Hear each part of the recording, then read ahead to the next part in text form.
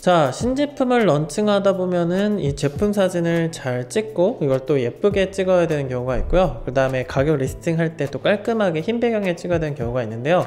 그래서 오늘은 제품을 이게 listing을 할 때 제품을 올릴 때 어떤 사진들이 필요한지 제가 생각해봤을 때 한 세 가지 정도 있거든요. 그래서 하얀색 배경에 깔끔하게 찍는 거 연출해서 이렇게 소품 배치해서 찍는 거 또 하나는 이제 자연광에서 또는 간단한 조명으로 이게 빛을 좀 활용해서 찍는 거이세 가지 정도로 어, 볼 수가 있었습니다. 그래서 이것들을 찍는 방법에 대해서 오늘은 제가 알려드릴 수 있는 간단한 팁과 노하우들을 공유 드리도록 하겠습니다.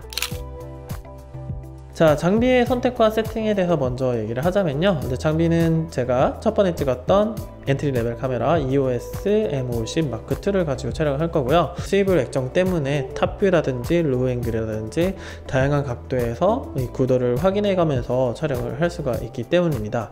또 한 가지는 EOS Utility를 통해서 노트북과 연결해서 카메라를 삼각대 고정해 놓고 컴퓨터로 노출값이라든지 세팅값을 조정을 하면서 촬영을 할 수 있는 일명 tether shot이라고 하는데요. 이것들을 촬영을 하고 바로 컴퓨터에 저장도 할 수 있고 어, 컴퓨터와 카메라에 동시 저장도 할 수 있는 그런 기능들을 무료로 제공을 하기 때문에 이 entry level 카메라로도 이렇게 찍을 수 있는 그러한 이점들이 있어서 모공을 선택하시는데 도움이 될 것 같고요. 말씀드렸듯이 핸드폰으로도 찍을 수 있지만 렌즈가 너무 광각이거나 왜곡되거나 이런 부분가 있어서 반듯하게 되어 있는 뭐 박스 형태의 이 미러리스 카메라로 선택해서 촬영을 하는 것이 훨씬 더 workflow가 좋지 않나? 이 생각을 어, 말씀을 드립니다. 제품이 이제 세워서 찍는 경우도 많이 있기도 하고요. 이제 기본적으로 가로로 찍는 경우도 많이 있고 해서 삼각대를 활용을 하셔야 될 것 같고요. 삼각대 같은 경우에는 세로로 촬영할 수도 있고 가로도 촬영할 수 있는 이런 ball head가 있는 촬영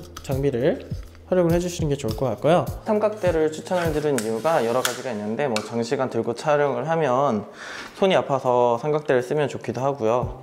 그리고 구도나 이런 게 일정하게 고정이 되기 때문에 삼각대를 쓰면 좋지만 무엇보다도 삼각대를 쓰는 이유는 조명의 광량이 세지가 않으면 어, 조리개를 많이 열어놔야 되고 열어놓다 보면 제품 전체가 포커스가 딱 들어맞는 그런 쨍한 사진을 찍을 수가 없어서 조리개를 조여야 하고 ISO를 최대한 낮춰야 되는데 그러려면 셔터를 많이 개방을 해야겠죠?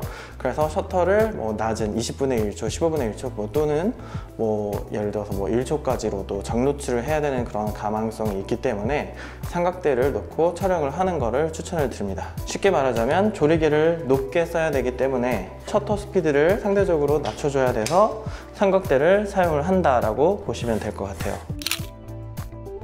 제품이 작다 보면 클로즈업 샷이 있기 때문에 망원 계열 그래서 번들 렌즈로 찍으실 경우에는 최대한 망으로 놓고 촬영을 해주시고요. 가까이 가면 갈수록 심도가 얕아지기 때문에 조리개를 좀 조여서 촬영을 하셔야 됩니다. 조리개를 조여서 촬영을 하다 보면은 셔터 스피드라든지 ISO가 높아질 수가 있는데요. ISO는 최대한 낮게 800 이상 안 넘어가게 400 어, 이하 되도록이면 100에서 놓고 촬영을 해주시고요. 대신에 삼각대에 놓고 촬영을 하시니까 셔터 스피드를 낮게 촬영 촬영을 해주시면 되겠습니다. 그러니까 낮게 촬영한다는 얘기는 셔터 스피드를 뭐 30분의 1초 또는 최장 30초까지 장노출을 찍을 수 있기 때문에 이렇게 장노출을 통해서 조리개를 조여놓고 이 포커스에 맞게끔 촬영을 해주시면 될 것 같고요. 카메라 세팅에서 잠깐 설명을 드리자면요. 지금 매뉴얼 모드로 지금 현재 세팅이 되어 있는 이유가 조명이 안 바뀔 거기 때문에 매뉴얼 모드이고요. ISO는 최대한 낮은 iOS 100에다가 세팅을 할 겁니다 그리고 어, 이 제품이 다 포커스가 다 맞아야 하기 때문에 조리개를 높여서 심도를 높게 찍을 예정이고요.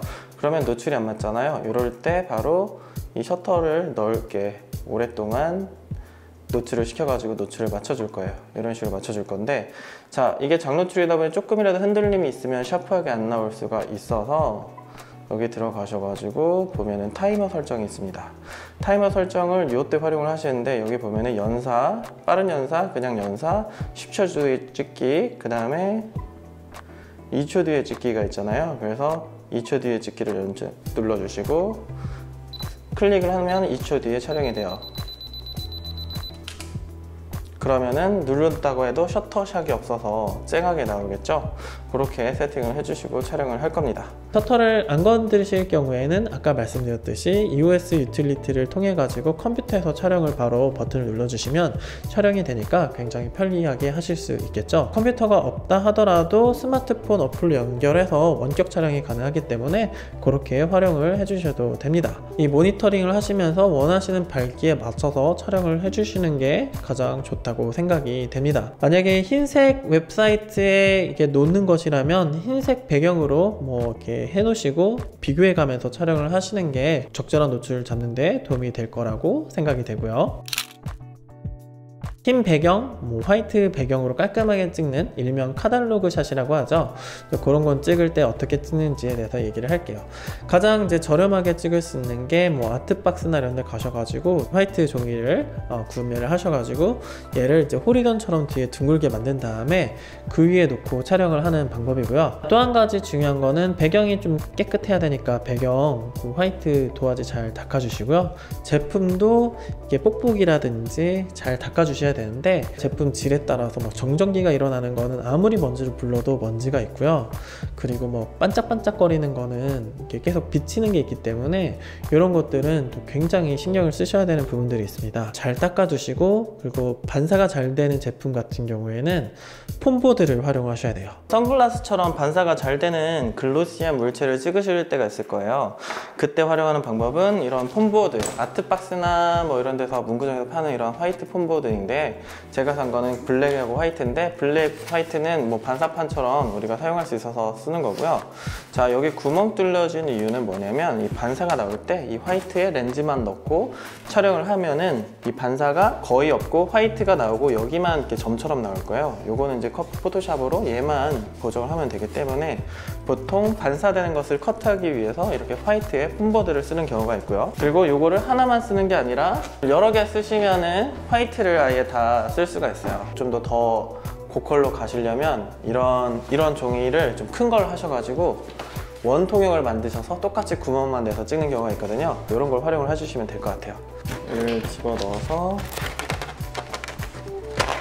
반사가 되더라도 이 화이트가 전체 다 반사가 될 거긴 한데 얘만 이 검은색이 들어가겠죠? 그래서 나중에 이 점만 있으면 자 이렇게 해서 최대한 어 뭐랄까 보정을 할 소요를 줄이는 거죠.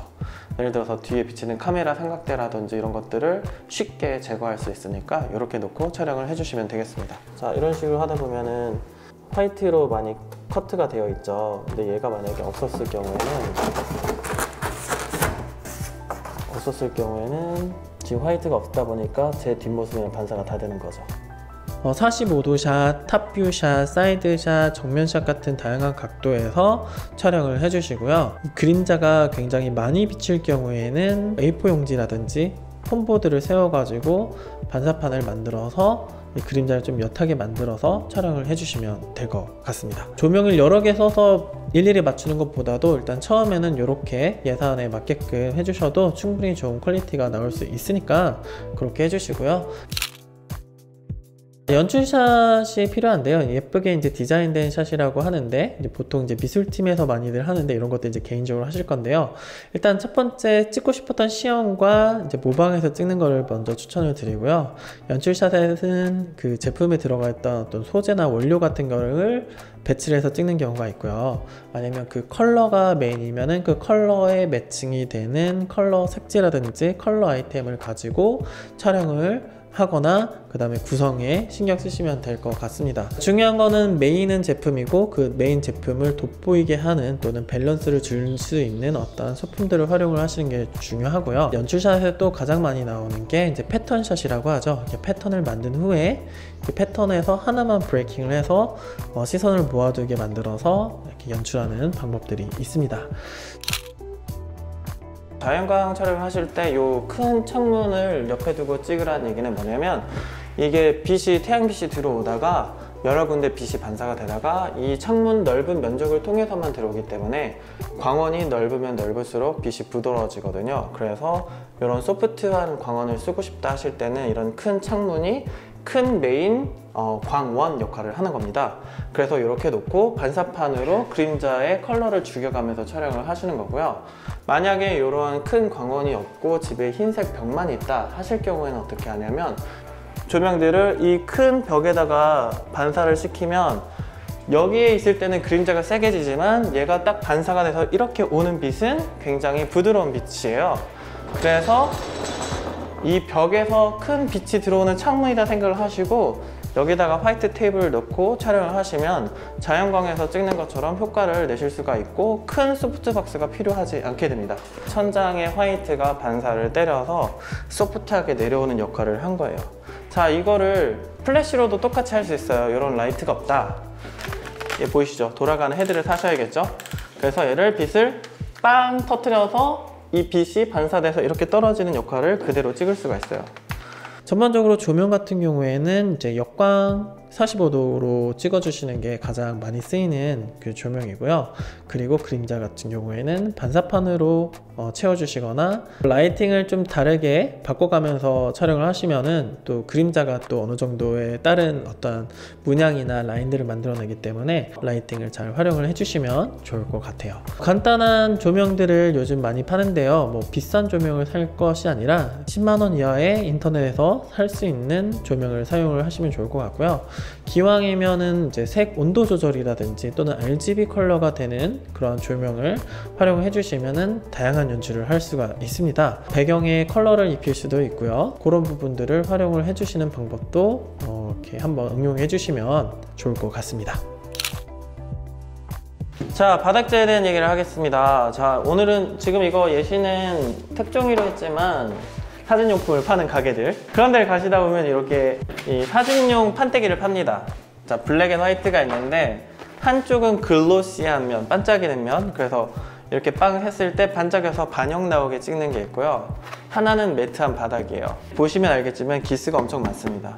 그래서 디테일한 거 찍으실 때는 기스 안 나게 조심하면서 찍어야 되고 이미 기스가 난 거라서 얘를 후보정으로 하기가 굉장히 힘들겠죠 그런데 대충 느낌만 보시라고 반사를 했을 때 어떻게 나오는지 한 번만 제가 찍어 볼게요. 프로젝트마다 구매를 해서 쓰는 편이에요. 왜냐면 기스가 한 번 찍으면 많이 나기 때문에. 그래서 어 근데 예시로 한번 보여드릴게요. 이걸 찍으면 어떤 식이냐면 악세사리 같은 거 만약에 쇼핑몰 하시는 분들은 이런 거 하나 놓으시고 이거 위에 약간 유리로 된 것도 있어요. 유리로 된 거 하시면 기스 잘 안 나는 걸로 할 수 있는데.